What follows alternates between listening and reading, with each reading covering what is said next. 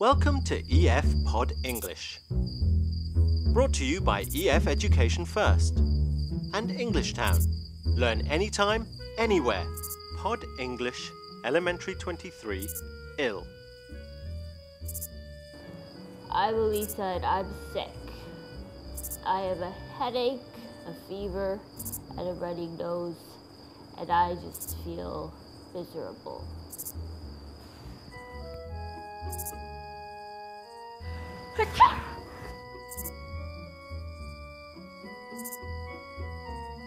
In today's lesson, we're going to look at ways of talking about illness.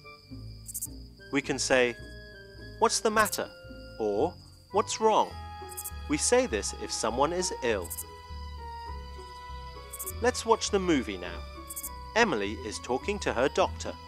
What's wrong with Emily? Dr. Green, I don't feel well. What's the matter, Emily? I've got a terrible cough. What else is wrong?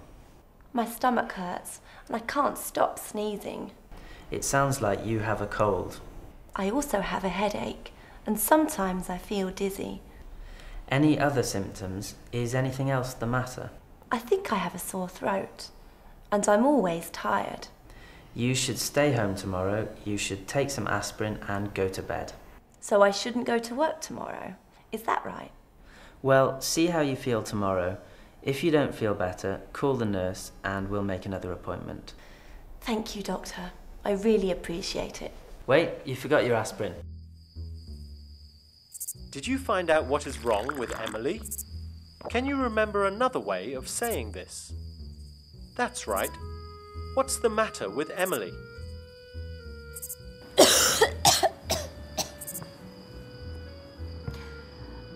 Emily has a cough. Emily has a sore throat. Emily has a headache. Uh. When we are talking about an illness, we say to have a cough, a headache, a sore throat, a cold. Can you remember what Emily says to the doctor at the beginning? Dr. Green, I don't feel well. I don't feel well. Now you say it. I don't feel well.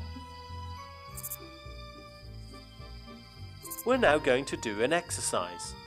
See if you can fill in the gaps in the conversation. fill in the gaps. What does the doctor say? What does Emily say? Dr. Green, I don't feel well. What's the matter, Emily? The doctor says, What's the matter? Emily says, I don't feel well. So, what is wrong with Emily? Use the words to make an answer. Let's do the first one together. Headache. Emily has a headache. See if you can do the rest yourself. Sore throat. Cough. Cold. Stomach ache. Let's do them together. Emily has a sore throat. Emily has a cough. Emily has a cold. Emily has a stomach ache.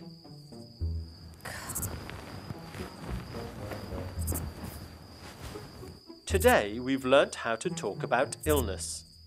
To have a cough, a headache, a sore throat, a cold. Well done. See you again soon. I'll do anything if I can just sleep five minutes tonight. One, two, three.